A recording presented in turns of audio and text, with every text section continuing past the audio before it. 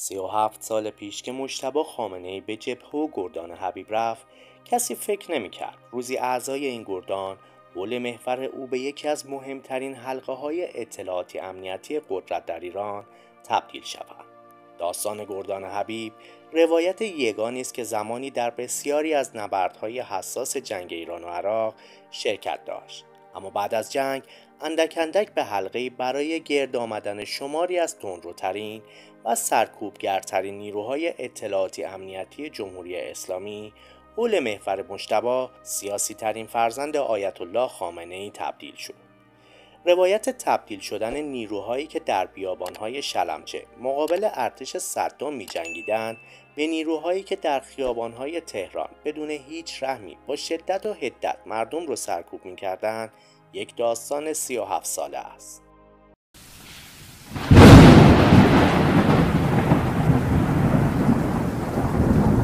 وقتی در سال 1365 مشتبه خامنه به گردان حبیب ابن مظاهر پیوست چهار سالی می‌شد که نیروهای تهران لشکری خاص خود در جنگ با عراق داشتند لشکر 27 محمد رسول الله که گردان حبیب از معروفترین گردانهای آن بود مشتبه خامنه 17 ساله وقتی که به جبهه رفت و عضو گردان حبیب شد پسر رئیس جمهور وقت بود. ولی مشکل این بود که پدرش آن موقع خیلی در سپاه محبوب نبود. درست همان موقع که مشتبه و دو سالی قبل تر از آن برادر بزرگترش مصطفی به جبهه رفتن میان فرماندهان سپاه با پدر راستگرایشان خوب نبود که هیچ شکراب هم شده بود. حجت الاسلام خامنه ای. آن زمان به یک روحانی راستگرا معروف بود و فرماندهان سپاه عمدتا به چپگرا بودن مشهور بودند. البته راست و چپ از نوع مذهبی. یک سال قبل از آنکه مشتبه خامنه ای به گردان حبیب برود در سال 1364 و درست قبل از عملیات تصرف فاو فرماندهان سپاه با محوریت محسن رضایی به رغم تلاش حجت الاسلام خامنه ای برای برکناری میر حسین موسوی نخست وزیر وقت از او حمایت کرد و مانع برکناری شده بودند.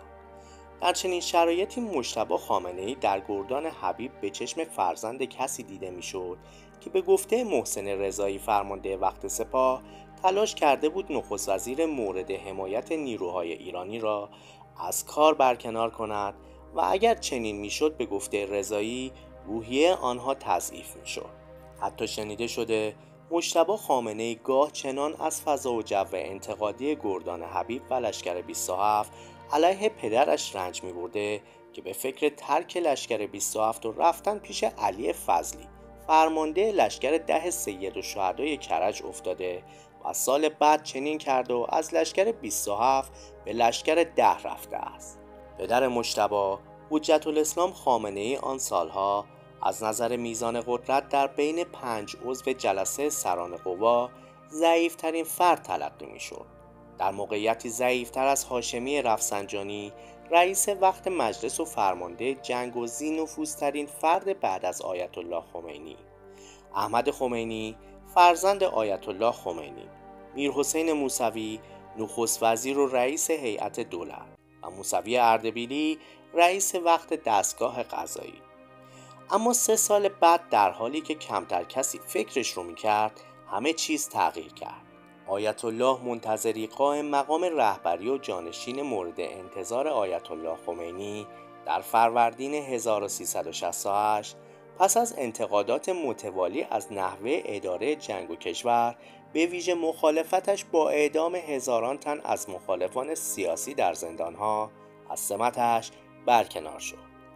آیت الله خمینی هم دو ماه بعد در خرداد ماه همان سال درگذشت و به یک باره رئیس جمهور ضعیفی که گفته می‌شد قرار است بعد از دوره ریاست جمهوری به زادگاهش مشهد برگردد به عنوان ولی فقیه جدید انتخاب شد. پدر مشتبا شد رهبر فرمانده کل قوا و قدرتمندترین مقام جمهوری اسلامی.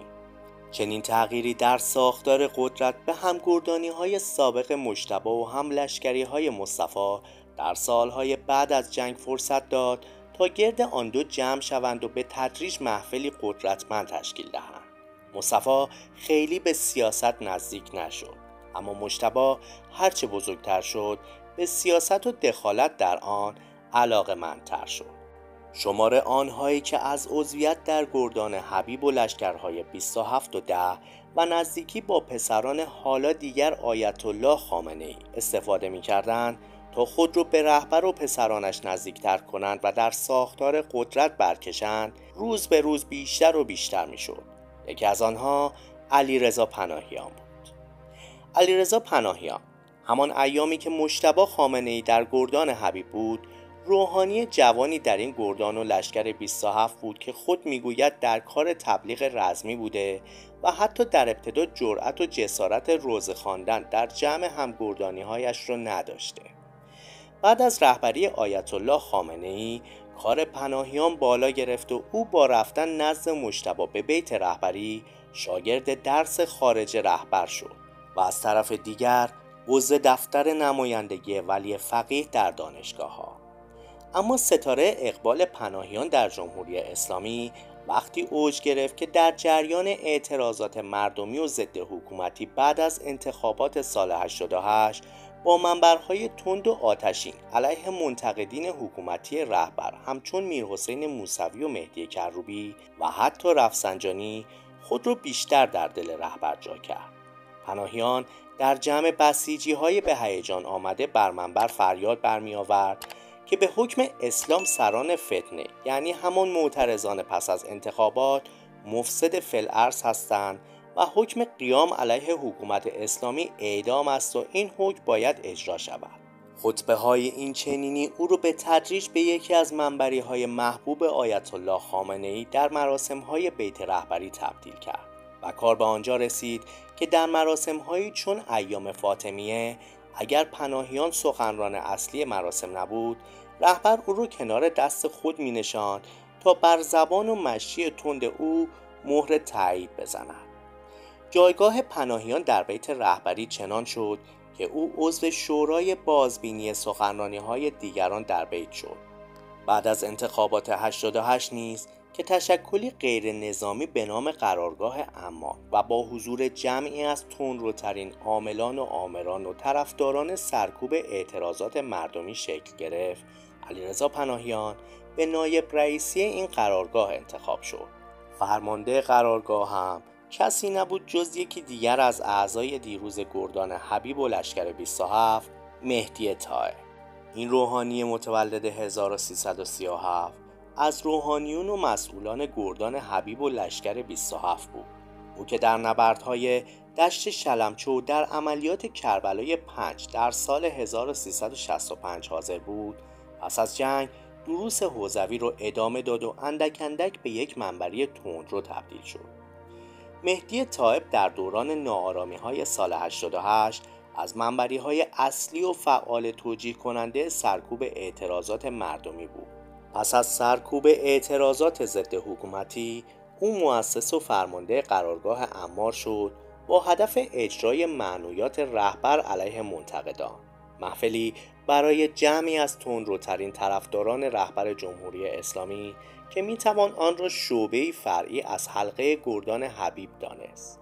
منبری ها و سخنرانان افراطی که سابقه جبهه نیز دارند در کنار مدهان تندرو سیاسی طرفدار رهبر و نیز کسانی که به رهبران انصار حزب الله و لباس شخصی ها معروف هستند. چنین جمعی با ساماندهی هیئت ها و محفل های امنیتی و نیروهای کف خیابانی به نوعی ابزار عملیاتی حلقه گردان حبیب تبدیل شده برخی از معروفترین آنها عبارتند از حسین الله کرم سعید قاسمی حسین یکتا حمید رسایی حسن عباسی و علیرضا پناهیان مهدی طایب به عنوان مسئول این جمع رو در قرارگاه امار در مؤسسه آوینی نیز عضو هیئت مدیره بود. مؤسسه ای که سازنده سریال تلویزیونی گاندو است. سریالی برای تبلیغ قدرتمندی سازمان اطلاعات سپاه. در واقع یک برادر در مؤسسه آوینی یعنی مهدی طایب بودجه گرفت و فیلمی ساخته در تبلیغ مجموعه تحت کنترل برادرش حسین طایب در سازمان اطلاعات سپاه. این دو البته برادر دیگری نیز داشتند. حسین طایب واقعی و دو سال کوچکتر از مهدی. وبسایت رسمی بهی صحرای تهران او رو اینگونه معرفی کرده. شهید در عملیات کربلای 5 19 دی ماه سال 1365 اطلاعات وبسایت به صحرای تهران می‌گوید حسین طایب در واقع اوست نه برادر کوچکترش که حالا او رو با نام حسین طایب می‌شناسند و رئیس سابق سازمان اطلاعات سپاه بوده و گفته می شود نام اصلی او حسن است.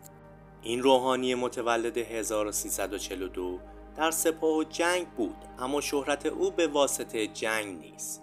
او از وزارت اطلاعات شروع به رشد کرد و معاون مصطفی پور محمدی در معاونت امور خارجی وزارت اطلاعات شد. ولی پس از مدتی از وزارت اطلاعات کنار گذاشته شد. در پی روی کار آمدن دولت محمد خاتمی در نیمه دهه هفتاد آیت الله خامنه ای که در نیمه اول و عواسط دهه هفتاد کنترل خود بر وزارت اطلاعات را توسعه و گسترش داده بود به یکباره با روی کار آمدن اصلاح طلبان احساس کرد کنترل وزارت اطلاعات رو از دست داده.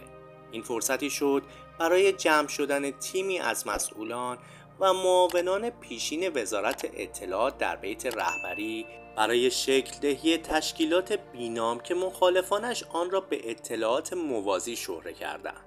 فرماندهی این نهاد موازی در بیت با اسخر میرحجازی مشاور امنیتی رهبر بود و با حضور افرادی چون فلاحیان، مصطفی پور محمدی و میسم تای خارج از بیت نیز آیت الله خامنه ای از یک سو دستور فعالتر شدن واحدهای اطلاعاتی سپاه پاسداران رو داد و از سوی دیگر بخش های اطلاعاتی قوه قضاییه تحت امر محمد یزدی و به نام حفاظت اطلاعات قوه قضاییه فعال شدند.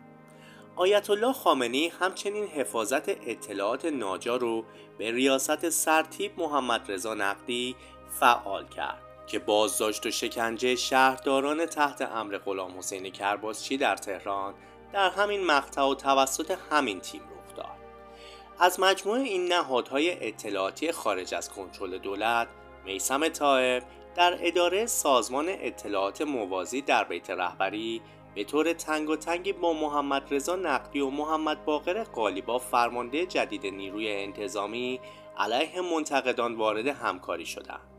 این در حالی بود که این تیم در زل دیگری با مجموعه رسانه‌ای صدا و سیما یعنی علی لاریجانی و کیهان یعنی حسین شریعت مداری تقویت می شد. در واقع طایب با نزدیکی به مشتبه خامنه ای نفوذ و قدرت خود را با سرعتی بالا و روندی جهشی افزایش داد با این وجود او حتی در دهه هفتاد نیز خیلی معروف نبود و شهرت اصلی او در عرصه های اطلاعاتی و امنیتی به دهه 80 برمیگردد.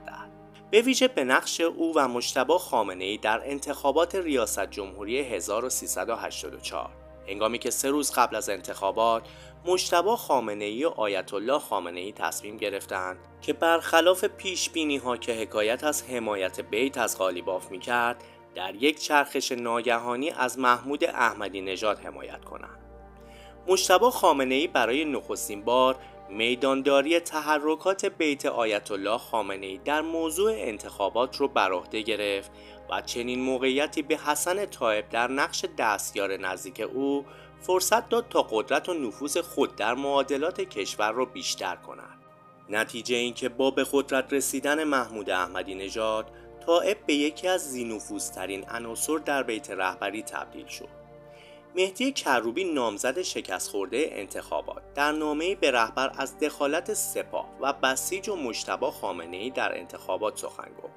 انتخابات ریاست جمهوری چهار سال بعد نام تیم مشتبه خامنه ای و طایب رو بیشتر بر سر زبان ها انداخت. مشتبه خامنه ای به حمایت از احمدی نژاد و سازماندهی صندوق رأی متهم شد و هنگامی که اعتراضات مردمی علیه نتایج انتخابات بالا گرفت بسیج محور سرکوب اعتراضات شد و فرمانده بسیج نیز کسی نبود جز طایب که حالا دیگر با نام حسین طایب شناخته شده تر بود. همون موقع که طائب به عنوان فرمانده بسیج محوریت مقابله با اعتراضات مردمی در تهران و سراسر کشور رو بر عهده داشت معاونش نیز از همان لشکر 27 بود. سرتیب حسین همدانی همون که می‌گفت برای سرکوب اعتراضات سال 88 4 5 هزار تن از عرازل و اوباش تهران رو سازماندهی کرده که در روز آشورا به تظاهر کنندگان منتقد و مخالف حکومت در خیابانهای تهران حمله و آنها را سرکوب کنند. طائب تا پاییز 88 فرمانده بسیج بود. در حالی که پس از انتخابات ریاست جمهوری دامنه اعتراضات مردمی علیه حکومت بالا گرفته بود با اعلام رسمی ارتقای جایگاه سازمانی معاونت اطلاعات سپاه به سازمان اطلاعات سپاه ریاست این سازمان جدید تأسیس که بعدها معلوم شد قرار است مهمترین و بزرگترین سازمان اطلاعاتی کشور شود به طائب سپرده شد. طائب در شرایطی که بسیار قدرتمند شده بود معاون و جانشین جدیدی پیدا کرد. که او نیز از گردان حبیب می آمد.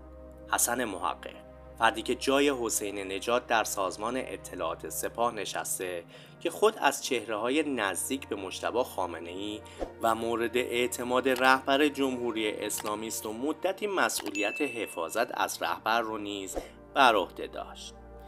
ادامه این موضوع رو در قسمت دوم این برنامه می‌تونید ببینید.